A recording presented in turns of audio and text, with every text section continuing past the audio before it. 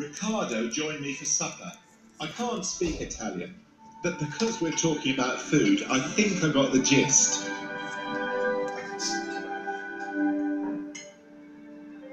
Eh, piatti semplici, eh, il pesce materia prima principale e eh, due o tre cose eh, in accompagnamento e basta.